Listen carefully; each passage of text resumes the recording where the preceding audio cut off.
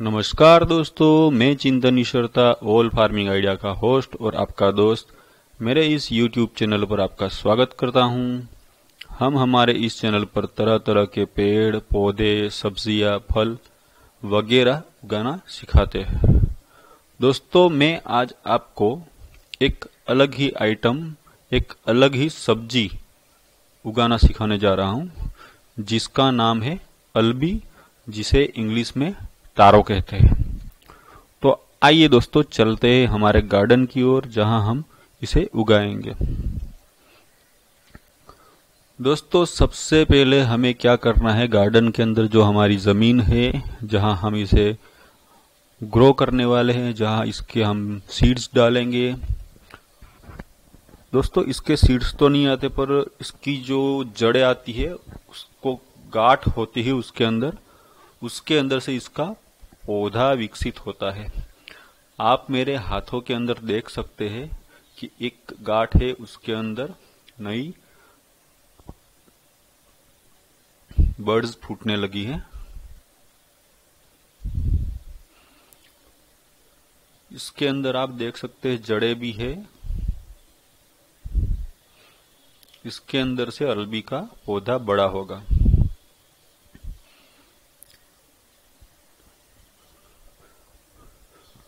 दोस्तों, सबसे पहले हमें ज़मीन को खोद लेने के बाद उस ज़मीन को हमें टुकड़े में बांट देना है छोटे छोटे टुकड़े कर देने और इसको हमें दो से तीन इंच गहरा खोदना है।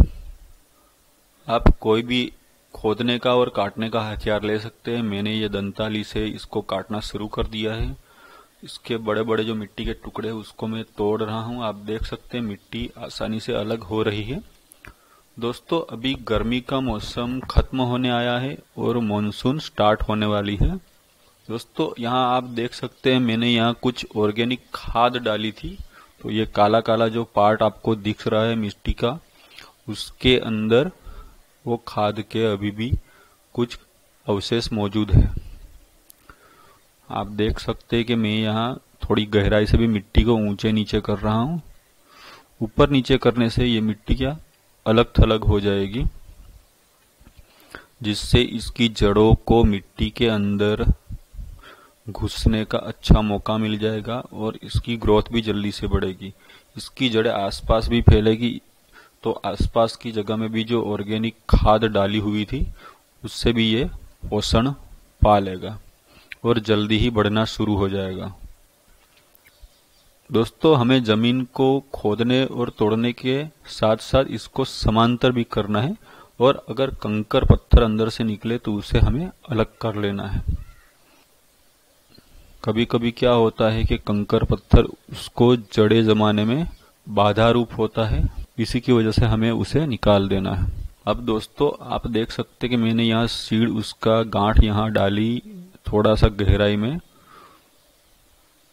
वैसे हर गांठ को अंदर डाल देना है और उसकी जो नई बट, नई शाखा फूटी हुई इसके अंदर से उसका भाग ऊपर की तरफ़ हो। और दो गांठों के बीच के अंदर दो से तीन इंच की जगह हमें रखनी है।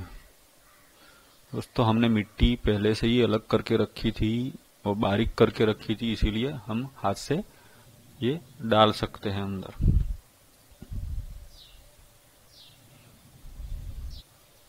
दोस्तों, अलबी की गाढ़ आपको मार्केट में जाएँगे। आप सब्ज़ी का जो मार्केट आपके पास में हो, वहाँ आपको मिल सकता है। अगर ना मिले तो कोई सब्ज़ी वाले को पूछ ले और वो अगर आपको मंगा सकता है तो वो मंगवा देगा आपके लिए और उसके पास से आप कलेक्ट कर लीजिए।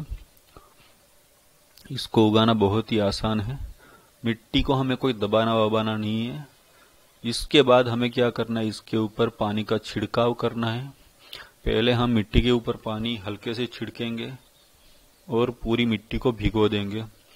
इस मिट्टी को भिगो देने के बाद हमें पानी की मात्रा बढ़ानी है और हमें पूरी तरह जो ऊपर से नीचे तक जितनी मिट्टी हमने खोदी थी, उसकी गहराई तक पानी पहुँच जाना चाहिए। इससे क्या होगा कि इस ज़मीन के अंदर भेज बढ़ जाएगा और उसकी जड़ें जल्दी से पानी का शोषण करना शुरू कर देगा। जब तक बारिश ना हो, हमें दो तीन दिन दो तीन दिन के बीच में पानी देते रहना है। इससे क्या होगा कि अंदर ज़मीन का जो भेज है, वो एक रूप रहे। बस दोस्तों, अब हमें राह देखनी है कि इसके बर्ड्स कब बाहर निकलने लगे और पौधे के रूप में विकसित होने लगे। देखिए दोस्तों, ये गर्मी के अंदर मैंने बोया था, इसकी वजह से इसके थोड़े बहुत पत्ते उगने के बाद सूख चुके हैं।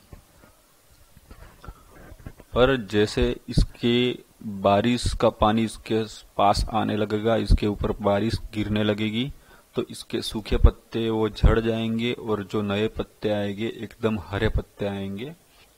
देखिए दोस्तों, अब बारिश का मौसम स्टार्ट हो गया है, आज पूरा वीक हो गया इसको स्टार्ट हुए। तो आप इसके नए पत्ते और पुराने पत्ते में फ़र्क देख सकते हैं।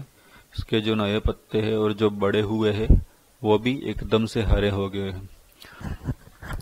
दोस्तों, इस पत्तों का एक अच्छा खाने का आइटम बनता है, जो मैं अपनी फ़ूड चैनल पर शेयर करने वाला हूँ।